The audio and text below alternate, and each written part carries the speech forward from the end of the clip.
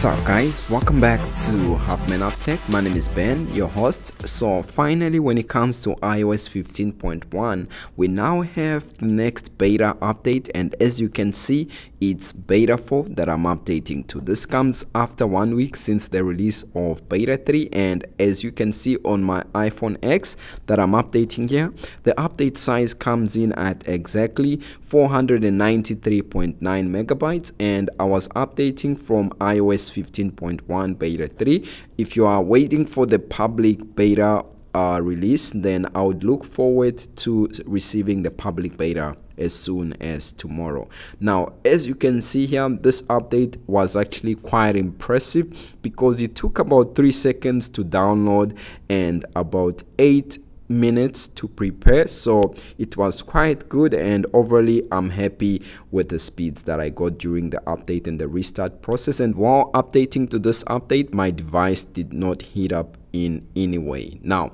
as you can see here this is not all that apple released today. If we go to the apple developer page or rather the apple software update page you can see here that apple released macOS monterey beta 10 they also released ios as well as iPadOS 15.1 beta 4 they released watchOS 8.1 beta 4 and tvOS 15.1 beta 4 now if you were to also see some other updates that were not listed that came out today. We have audio os 5.1 beta 4 and mac os sur 11.6.1 release candidate and you can see the associated build number that we got. Now most of these updates i do cover here on the channel at halfman half tech so if that is something that interests you then a sub to the channel would really be appreciated as we do this almost every day. Now when it comes to some of the software changes that came with this update if we go into settings and go to general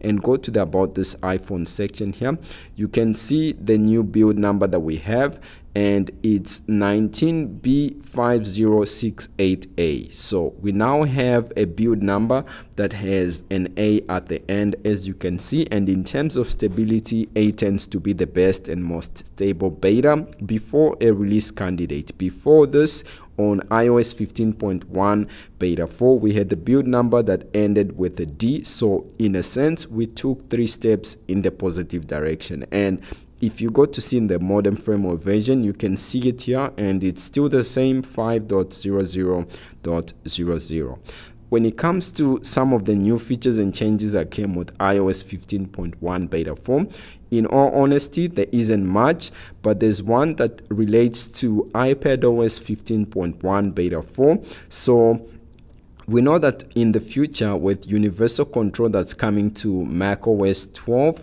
it will allow your cursor and keyboard to move between any Apple device that is Mac or iPad as long as it's signed into your iCloud and on macOS 12 beta 10 that is the latest macOS beta you can see that it gives us hope that this feature is going to be coming pretty soon although it's not fully here but it does mention it.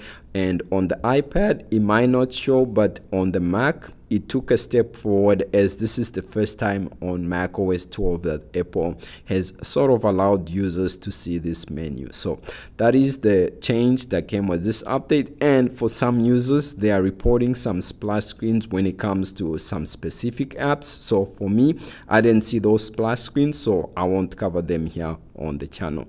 If you go to the release notes of iOS 15.1 beta 4, so let's click here where it says release notes. You can see here that there isn't much that changed and you can see that we just have core data issue, NSExpressions, and also home we have an issue when it comes to Swift UI, telephony, and voiceover, and that's as much as it goes. So most of the issues aren't mentioned actually when it comes to like green tint, when it comes to the storage bug, and so on.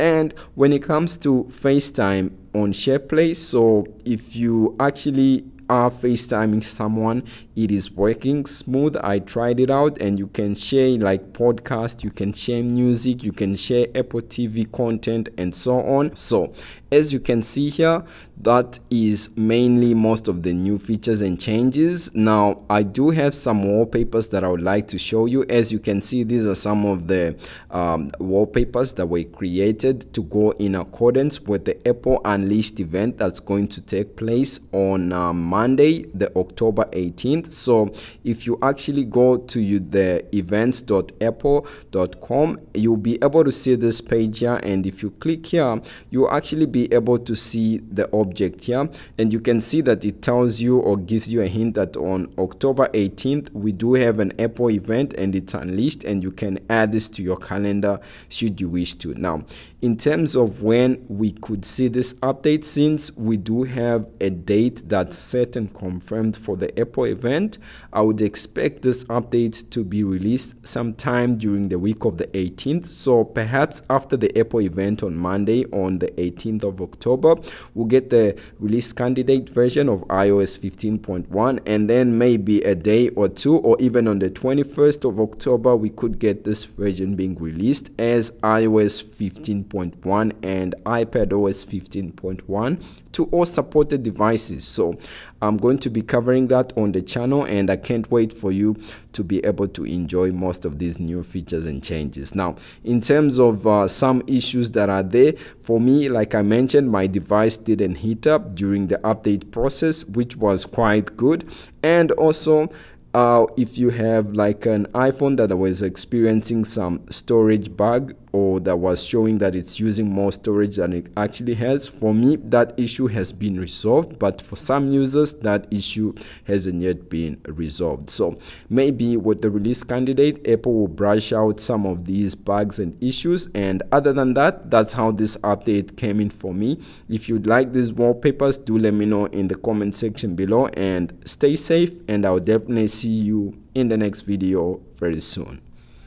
Peace.